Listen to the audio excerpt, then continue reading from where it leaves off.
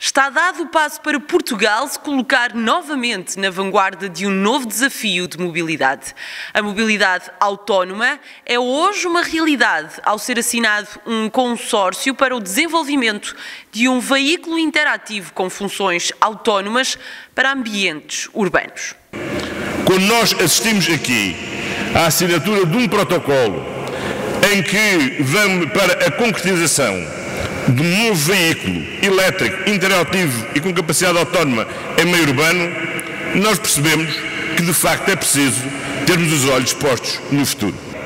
E, portanto, se há barreiras legais e regulamentares, nós vamos eliminá-las. Se é necessário criar espaços para a experimentação, nós vamos criar espaços para a experimentação. Se é preciso voluntários para experimentar, cá estou eu, como Primeiro-Ministro, a oferecer é agora possível criar uma indústria de nova geração que junta conhecimento científico e tecnológico, capacidade industrial e cidades. Um consórcio que é um trabalho em rede que permite a construção de novos futuros centra-se no desenvolvimento e industrialização, porque não, não, deixa de ser apenas um conceito, passa a ter industrialização de um veículo com as funções que foram ali apresentadas. Portanto, um veículo que integra várias tecnologias, um veículo interativo e interativo não só com o condutor, mas também com a cidade em si. E é com base neste conceito e com os olhos postos no futuro que se faz história em Portugal. Depois de uma visita às instalações do CEIA, foram oficialmente lançados os laboratórios colaborativos nas áreas da mobilidade, aeronáutica e espaço significa o compromisso de quem produz o conhecimento, de quem o pode transmitir às empresas e das empresas em que é essa inovação que vai ser o nosso futuro. O futuro passa, por isso, por unir universidades com centros tecnológicos e empresas no terreno. É com esta fórmula que nascem os laboratórios com mais um objetivo bem definido.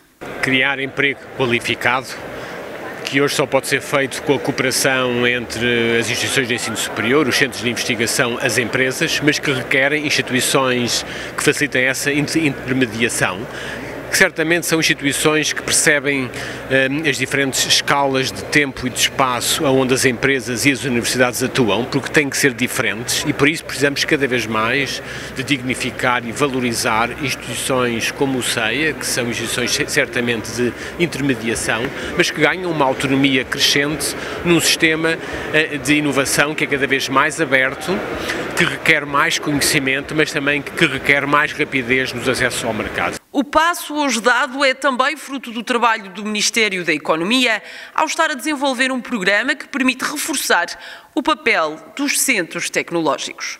Tem uma grande importância esta colaboração entre as universidades, os centros tecnológicos e a indústria é extremamente importante para relançar a economia, para termos em Portugal uma economia que cria mais valor. Investir no conhecimento e na inovação permite a Portugal uma maior competitividade e ganhar valor. E isso só é possível engenheirizando a criatividade e materializando o conhecimento.